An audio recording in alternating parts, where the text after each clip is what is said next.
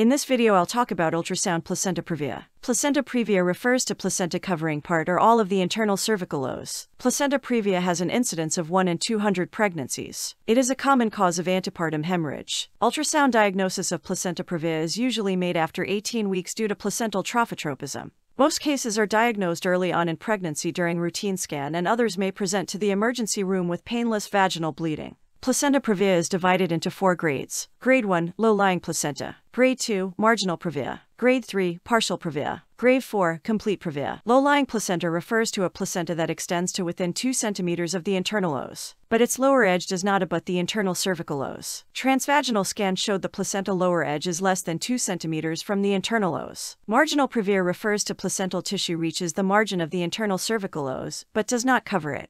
The ultrasound image showed the placenta is at the margin of the internal os. Partial previa refers to placental tissue partially covers the internal cervical os. Ultrasound image showed a small amount of placental tissue covering the internal os. Complete previa showed placenta completely covers the internal cervical os. Two diagnosis pitfalls are full bladder and focal myometrial contraction. These can make the placenta appear closer to the internal os than it actually is. Post-void images should always be obtained if previa is suspected. This is an example of focal myometrial contraction. The placenta appears to overlie the cervix during contraction. After the contraction resolves, placenta lower edge is clear of the internal os. Key points to remember. Transvaginal ultrasound is more accurate to diagnose placenta previa and the true distance from the placental edge to the internal os. If low-lying placenta is identified in the second trimester, a follow-up scan is recommended at approximately 32 weeks gestation. If the placenta is low-lying in the third trimester, transvaginal ultrasound is recommended to aid an accurate measurement of the distance from the inferior placental edge to the internal cervical os and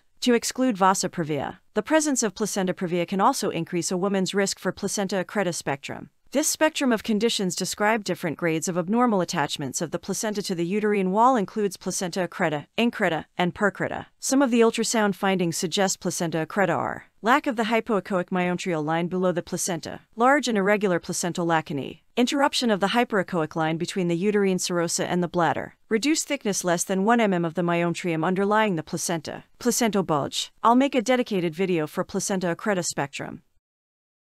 Thanks for watching. Like and subscribe to see more sonography videos.